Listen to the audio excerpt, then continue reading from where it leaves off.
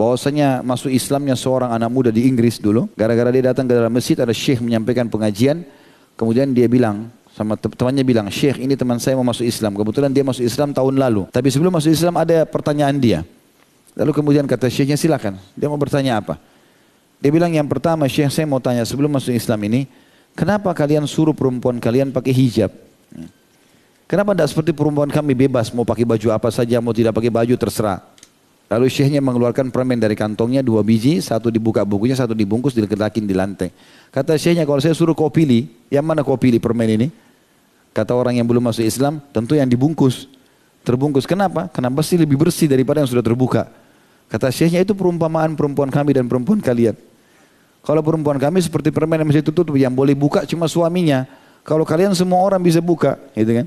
Maka jelas berbeda di sini konsepnya. Alhamdulillah gara-gara itu akhirnya dia faham dan dia masuk Islam. Ya.